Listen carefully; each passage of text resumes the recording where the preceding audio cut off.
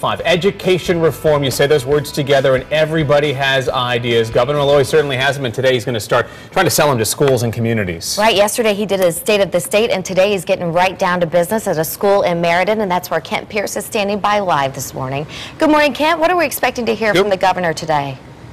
Yeah, well, this is the, really the start of the push to try to get the legislature to pass this. Remember, this is the middle of the budget year for Connecticut, so they're not working on a whole new budget, but they do change things. They do tweak the budget some during this year. One of the things the governor wants to add in is a $128 million education package, but specifically there's $40 million that are going to be targeting the 30 poorest and poorest performing school districts in the state.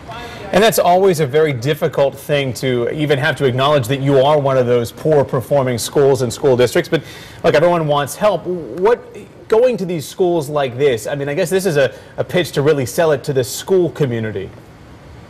Absolutely. And remember, for the most part, schools are funded at the local level. So this is extra state money coming into the 30 poorest school districts uh, so that they can get a little help, just a, just a little kind of kick in the butt to change things a little bit. With this money, uh, they're asking for a promise to actually reform how they teach as well.